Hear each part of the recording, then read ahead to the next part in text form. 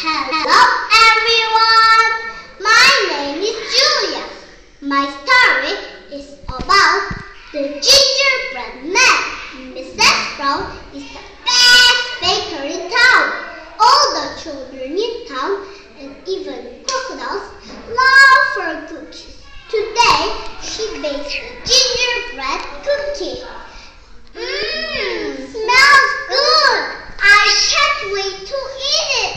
She opens the oven door. A gingerbread man jumps out. Come back here, says Mrs. Frog. He runs very quickly. He says, Na na na na na, you can never catch me.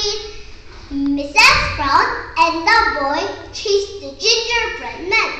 Then a dog sees the gingerbread man, and he did the same thing. Oh my, it's a river. I can't cross it. Hello, gingerbread man, says the crocodile. I can help you, said my We can cross the river together. He jumps up on the crocodile's nose. He looks back to Mrs. Brown, the boy, and the dog. He says, Na na na na na, you can never catch me.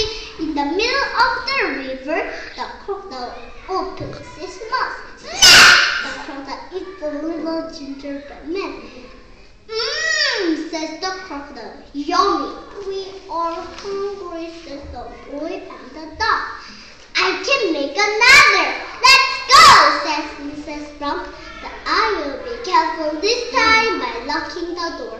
Thank you for listening to my story.